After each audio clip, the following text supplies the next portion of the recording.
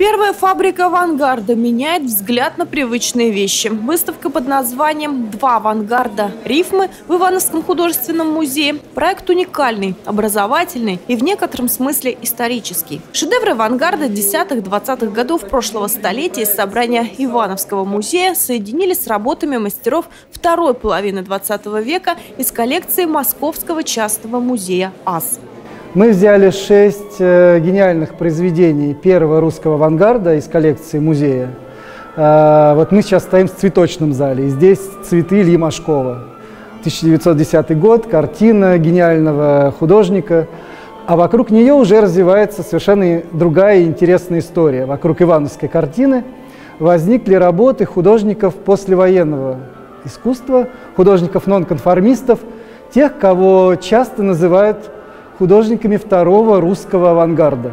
Вокруг шести шедевров из Ивановского собрания построили шесть залов. Причем построили в буквальном смысле слова. Конструкция позволяет создавать различные сюжеты вокруг картин, рифмовать два авангарда. А мы долго спорили с Ивановским музеем, не, не слишком ли много дизайна, не слишком ли это шоу, не слишком ли это ярко. Мне кажется, этого не хватает. Современный зритель хочет воспринимать даже музейные работы в очень современном э, ракурсе.